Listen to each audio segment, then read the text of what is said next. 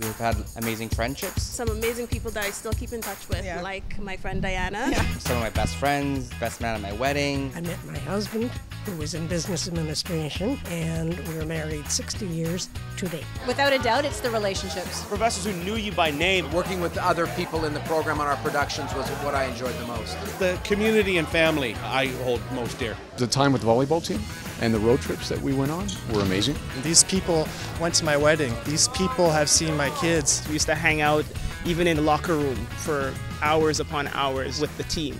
As the saying goes, once a ram, always a ram.